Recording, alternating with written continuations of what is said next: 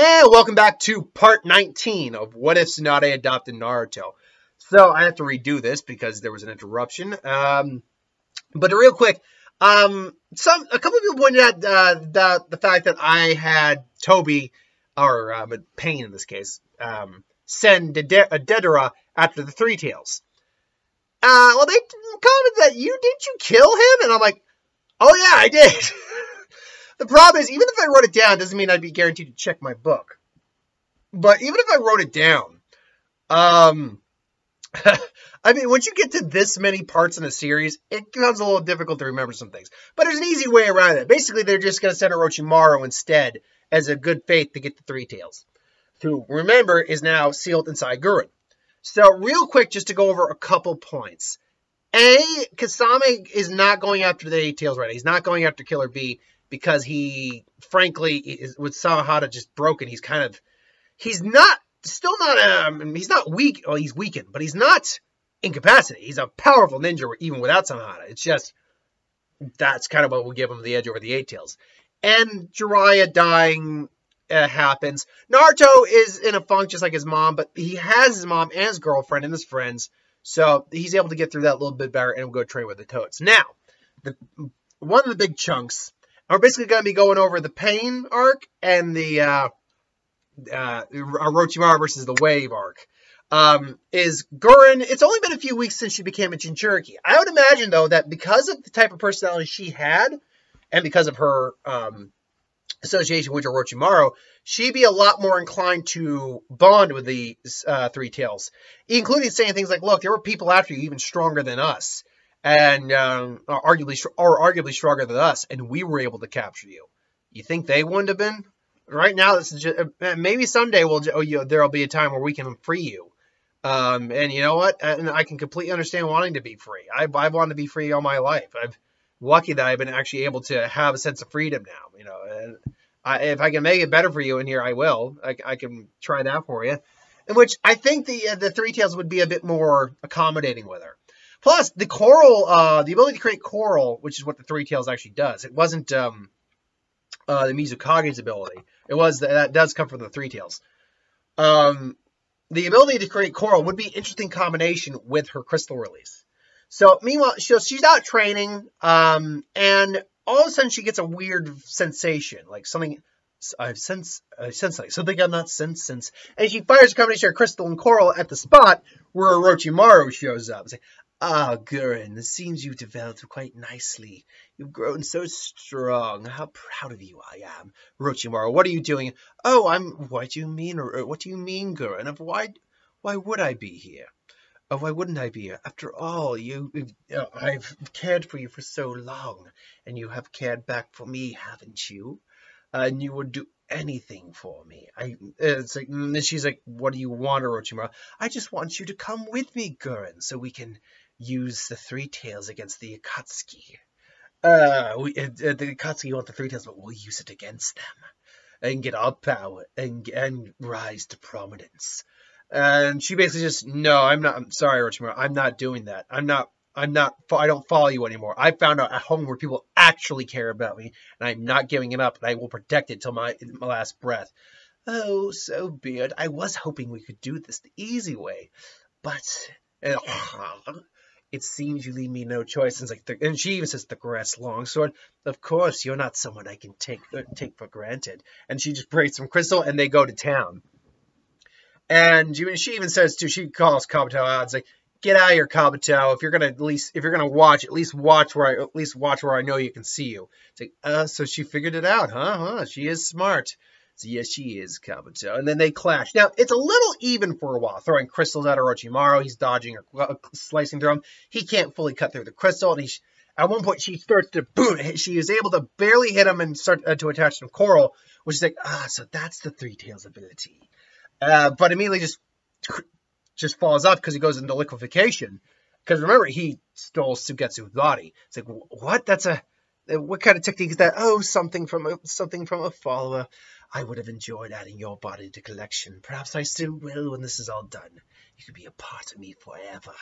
And now, now she's in a in a bind because she can't physically hurt Orochimaru now. The amount of chakra it takes to do that isn't a lot from what we can tell, unless Suigetsu has God knows how much chakra. But it isn't a great deal, and Orochimaru has a lot of chakra. Um, so it, it's at one point she's he's about to she goes and she notices something and swings at him again. He immediately turns and looks like, please, is that the best you can? what is this? It's like ice, and then there's some senbons attached to him, and Haku suddenly appears, and, and then basically his entire arm freezes off, so he basically has to just climb out of himself again. It's like, ah, I see a member of the Yuki clan still lives. Impressive. Uh, it was such gems we find are in this village, apparently, Kabuto. Uh, but unfortunately, it's a uh, it's a bad match for my equivocation. Could you be a kind lad and take care of her? It's like, of course, Lord Orochimaru. And so it's Haku versus Haku and Guren versus Orochimaru and Kabuto. Now, it goes about the same with Guren and Kabuto. Uh, Guren and uh, Orochimaru. Kabuto and Haku, on the other hand, the Haku immediately is, is that I gotta close the distance and use ch- like my chakra scalpels because otherwise Haku's just gonna be able to hit me pressure point by pressure point. And luckily he's able to get a not direct hit, but like a scathing hit, which does weaken his our Haku's arm. Haku's now in trouble, even though he's using ice release. Orochimaru was helping out too, occasionally throwing attacks out that break his uh, that shatter the ice. So now these two are in a bit of a bind as the mist grows thicker, as it does because it's the land of it is the land of wave. The, light, the mist suddenly grows a lot thicker. It's like, ah, so the mist is thickening. Ah, so it seems uh, uh this game, unfortunately, you will not be able to see your own defeat, but it's but it will still be quite, uh, but it will be, come to you, or sorry, but it will come nonetheless. And then he stops, feels something he rarely feels, massive amounts of killing intent directed towards him. And he immediately liquefations and reacts as a giant blade comes through, and then Zabuza just appears, catches it. It's like, so, I thought I smelled a snake. So, you're Orochimaru. I don't think we've actually officially... My Zabuza is a little... Orochimaru. Yeah, and we've never officially met. And then, but Orochimaru knows who Zabuza is, definitely. It's like, ah, uh, Zabuza Momochi. And this, now he's a bit more like, oh, now uh, he's he's the guy who's the, the Kage of this village. He's one of the seven ninja, and he knows water release. This might be a little bit more difficult. So it's like, ah, so yo, I must, I have heard your reputation precedes you, Momochi. I must admit, as a former Kage myself, the task of creating and controlling a village is great. I commend what you've done here. It's like, Flattery's not going to save you, you serpent. You flatter and flattery won't help. Neither will uh, flattery help you, Momochi. And they clash. So it's a clash of blades. Grass longsword versus the executioner blade. He does basically the whole extending the blade thing where and obviously just blocks it. Uh, you know, he just summons a giant wave of water, gusts the sword, and, uh, and then Orochimaru uses liquefaction to absorb it, kind of like Hydro Man's. Zabuza just uses that water and throws it back, and th- basically is using Orochimaru against himself. Really, Orochimaru realizes that he's in, stuck in water form. He Zabuza basically makes a water dragon, and Orochimaru has to basically turn into a solid form, but he hits the ground. Like, I must admit, that is impressive. Water Dragon! Rashomon! Is that the best you can do, Momochi? Uh, and then basically, Zabuza suddenly appears behind him and just pierces him with the blade. Just, uh. I must admit, I, uh, I must admit, if I didn't have my body, I would, uh, this body, I might have been killed on that one. It might have actually been lethal. And, and the Orochimaru sees like, liquefaction, you stole the body of Hozuki. It's like, of course, Zabuza. And now it, there's nothing you can do. Why do you think I was able to absorb so much water? I figured that was the case. Yes, and now you'll go. Yeah, yeah! Orochimaru just starts screaming, seeing his body's boiling. He's like, what are you? And then he just looks at Zabuza's blade is glowing red hot. So they, Think about it. Zabuza, it's from the same village Zabuza was at. And you really think I wouldn't know how to counteract the weakness of a, a technique from my own village? Basically, he's super, he's super hitting his blade and evap- boiling and evaporating Orochimaru, who immediately has to get out of there. And even though he's in solid form, his whole, his body just hurts. His innards are like charred, at least semi. He's, ah, he's confident. I'm like, yeah, you bastard. Kabuto, we're leaving! Uh, this is an over, Momochi! and then he has to get out of there. So they were able to drive them off.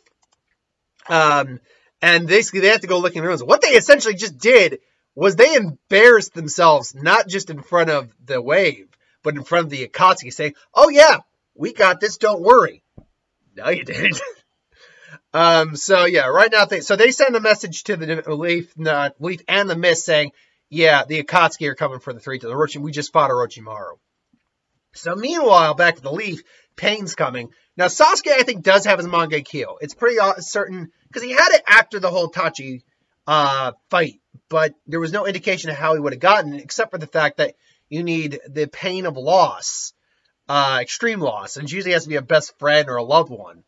And he got it when Tachi died. I imagine he'd get it again. Now he is using, he's reading, he, he's probably read like the uh, the tablet, uh, and maybe has discovered what Itachi really was aiming for. That that why he said take his eyes, uh, is that he's one he's thinking you want me to gain the eternal Mangekyo. Uh, but meanwhile, while that's all happening, Pain shows up. Now, most of that's going to go down the same, except Sasuke will come in to save Kakashi, um, and probably burning Asura Path to, to scrap, to, to ash. So there is no Asura Path now. They can't save the Asura Path, so they have to make a new one.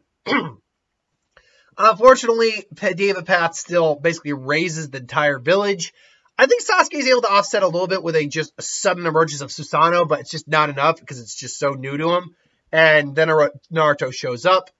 Uh, most of that fight goes down the same up until we get to the point where uh, Naruto gets pinned by Pain. He gets pinned by the rods, uh, and he just, you will know Pain. It's Pain's chakra inside me. Just change the change the wording on that, and you can do some terrible jokes of that. And then uh, Hinata's like, uh, Hinata's about to come down. He can, but he can still feel Hinata about to show up. And it's like, Hinata, stay back! And it's like, you don't understand, Naruto. You will know pain. Pain, pain, true pain is what some people. People must know true pain if they are to know true peace. And I will bring them peace, Naruto, by bringing them pain. And I will bring you, and I will bring you pain to you, so you will know peace. And basically, not says, that's a load of crap. You think that's what Sensei really wanted? You think that's what Jiraiya, how Jiraiya wanted peace to go? It's like it does not matter. Or you just, and then he basically uh, Naruto cuts him off. Or maybe that's just your excuse to justify your actions. So which that does cause Nagato to be like, hmm. yeah, it's like he's he's like he's calling him out just a little bit. I never thought I'd have to use. I never thought there'd be a day I'd actually have to use this. What are you blabbering about, boy? It's over. Accept your defeat and accept your defeat and come willingly. It's like, yeah, right. And Naruto does something that will be fixed in just a bit, but because remember, he has those rods in both hands. He just uh, rips out the rods. Ah! All of a sudden, he makes a hand sign and basically just release. There's a Regenesis, rebirth, release. Told you that'd pay off eventually. um, and all of a sudden, Nerd Pain at the back the hell up. Just, what is this? And the chakra, it's just the rods are exploding out of Naruto. Doo, it heals up. But here's the thing. Because it's constantly gathering chakra, and because the Fox's chakra is constantly mixing with Naruto's, it's not only uh, getting Naruto's chakra, but it's also getting the Fox's chakra at the same time. So when Naruto ultimately goes into that form, you get the cool tattoo seals on there, but you also get the feral fangs, the uh, the heightened um, uh, the heightened whiskers. His hair goes a little far. In fact, I think his hair would even gain a little tinge of red. And he, it's think of what Super Saiyan God kind of looked like with the energy, almost like a flame wrapped around him. Just he's now just get the Super Saiyan God music there. Uh, and then, or you get the and all of a sudden Naruto's just like, oh shit, and it's like, I will never back down because that is that was my master's way, and that is my ninja way too. And he's just staring down uh, Pain, who's this is unexpected, and then Naruto just disappears. what? And he just. And basically, Naruto's now just blitzing his ass. Think of it. Tsunade gave him that seal when he was a kid. Like, not even at, not even in his double digits. Factor maybe 10 years worth of that on Naruto. Uh, that's a lot of chakra and power. And Naruto can shut off anytime he wants to conserve energy. But the amount of chakra he's had built up there, oh, it's coming out. It's coming out in force. So basically now he just said, Tornado Fist! And they um, Shinra Tensei! And then they basically just clash. Naruto just blitzes through there, chakras, wind chakra blades, and hits and just stabs Path. Just, Path at this point cannot, uh, Path, Path cannot keep up. And he, Naruto just rips him, and just try to, almost rips him to shreds. He's able to barely push him away, but he's still got these now gaping wounds. Granted, he can't feel anything, but still. Naruto then starts throwing Rasengans at him, and at one point he basically channels water and wind chakra into his into his uh, tornado fist. It basically causes a maelstrom. Um, but at the same, but it, it's a maelstrom until he also pulls out the Kiba blades and start and channels what lightning that is in the Kiba blade there, and basically creates a giant freaking hurricane on his head, lightning and all, and just throws basically a force of nature combined with his chakra enhanced form right out Deva Path, and he just keeps throwing it until Deva Path can't keep Shinra Tensei, and he just gets engulfed and just and he basically, you know, he almost wakes up, and then Naruto just uh, comes in and slices his head clean off. Then he basically tracks down Nagato, and they have that conversation. That conversation still goes down, and oh, and he put the he deactivates the seal, react or reactivates the seal, I should say um, resets it. That's a better way to put it. You know, reserving what chakra that he still has left in that form, plus, you know, anything he can gain later on. So ultimately, they had that conversation, and it all goes pretty much to plan. Uh, or pretty much, pretty much as it does in a normal story. now, where's leave us? Because we're only at the 16 minute mark, uh, 17 minute mark. Well, we can speed through a little bit because we pretty much be going into the fourth Great Ninja War at this point. Uh, Tsunade's out of commission right now. However, the question will re remain, is Danzo the next Hokage? Unfortunately, I'd say yes. Because there was no one else at that meeting that should be or that shouldn't be at that meeting. Or there wasn't anyone who was not at that meeting that should have been. Excuse me. Uh, so that goes about the same. um, base now with the whole Killer Bee thing, no one tries to get Killer Bee at this point. Uh, basically, Tobi wants them to wait. Uh, he goes to get uh, the uh, the Nagato's Rinnegan at one point. Kisame is busy just dealing with, you know, uh, basically he's tasked, maybe he's tasked to get a couple of the stray tail beasts that haven't been acquired yet. Um, eventually, Kabuto and Orochimaru do show back up to Tobi, though, who is revealed to be the mastermind behind the Akatsuki. And they say it's like you failed to get the three tails. Yes, but we can offer you another another item of value. What could you possibly offer me after this failure? And then they show them the Edo Tensei, Edo Tensei, and he does get a smile on his face. So you do still have Killer Bee, Guren, and Naruto are the only uh, Jinchuriki left. Um, and then you get the whole um, Danzo Kage thing uh, where he does manipulate, and because of that, um, he does basically say that, excuse me, I say that, yeah, he would have chosen Danzo uh, had he not been trying to manipulate him. Unfortunately, though, that actually wouldn't have worked because, uh, what was his name? Ao? Ao basically pointed out was Byakugan. So ultimately, Raikage still gets uh, nominated the leader of the uh, the ninja army. Uh, Tsunade does eventually wake up, and basically we're now, our last episode is probably going to be in the Ninja War arc. So on Saturday, I'm pretty much going to plan it out to be that's the last episode of this. We're going to probably end it on 20. Uh, but we'll see what honestly happens. Thanks for watching, though. I hope you enjoyed. Like, comment, share, and subscribe. As always, if you want us to review something, put in the comments below. Let us know. We'll do a review of it at some point. I just ruled win. Star Wars, Severe Magic, what if, anything I do on the channel. Put that in the comments below as well. I'll get to that at some point. So I got who would win. I'm going to try something new with who would win. So keep your eyes out for it. God. Uh, so keep your eyes out for it. But yeah, I'm going to try something new with it. And uh, I'd like to get your feedback on it. Uh, so thanks for watching. I hope you enjoyed. And I'll see you in a little bit. I actually got one more video to do besides that too. Because the next Schmoedown just dropped. So keep your eyes out for that reaction too. Bibiani versus Roka. that's to be fun. Uh, and I got and I picked up a whiteboard and a dry erase uh, marker too, so I can do that legit now. Anyway, thanks for watching. See you later.